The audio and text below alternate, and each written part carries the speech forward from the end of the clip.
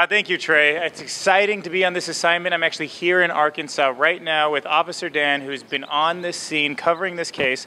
Officer Dan, thank you so much for taking some time to talk to our audience. Thank you for having me. Yeah, so tell me, you've been looking for these buffalo. You got that right.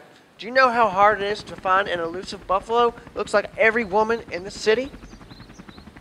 No, no, I, I don't. I've never dated a buffalo before. Um, but tell me about uh, are people in the community scared? Yes, they're they're very scared. And me and my partner Eddie, we've been going around door to door, letting everyone know that everything is fine and to please stay indoors. Okay, now you say that they're dangerous. How exactly are the buffalo dangerous? They're dangerous. They're doing all kinds of things, Dylan. They're stealing food. They're stealing people's crops. They're stealing cable. Stealing cable? Did I say cable? I meant they're stealing DirecTV, Dylan.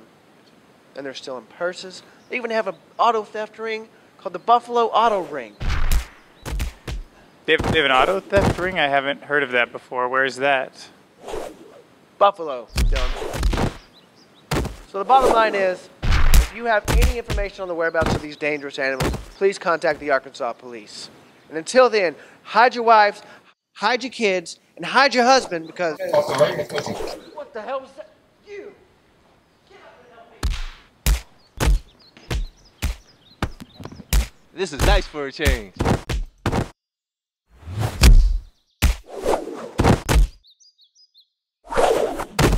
Oh, uh, and back to you, Trey.